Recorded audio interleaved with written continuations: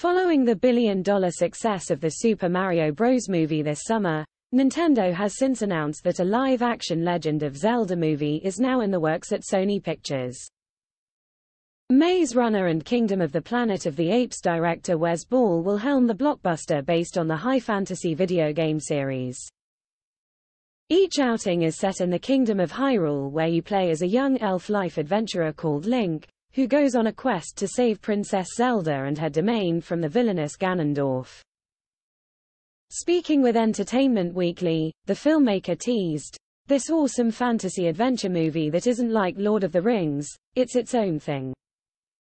I've always said, I would love to see a live-action Miyazaki. That wonder and whimsy that he brings to things, I would love to see something like that. Ball was referring to Studio Ghibli director Hayao Miyazaki, whose latest Japanese anime movie, The Boy and the Heron hits cinemas this month. The director continued, It's going to be awesome. My whole life has led up to this moment. I grew up on Zelda and it is the most important property, I think, that's untapped IP, if you will. So we very much are working hard to do something. We're not just trying to do it because we can. We want to make something really special. Some fans were surprised by the news that the Zelda movie will be live action given that the Super Mario Bros. movie was successful as a CGI animation, while its original live action outing was a box office bomb.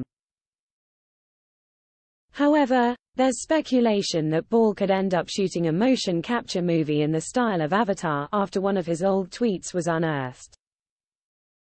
The tweet read, since I could never even hope to have the chance to direct it.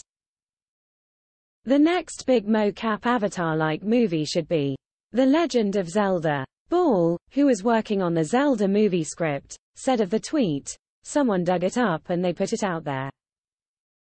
I was like, oh yeah, cool, that makes sense. James Cameron's one of the guys I look up to in terms of movies.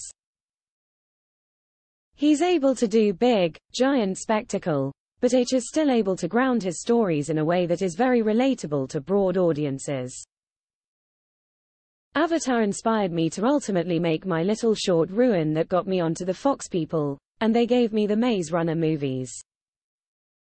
From there it went to Planet of the Apes and ultimately to Zelda.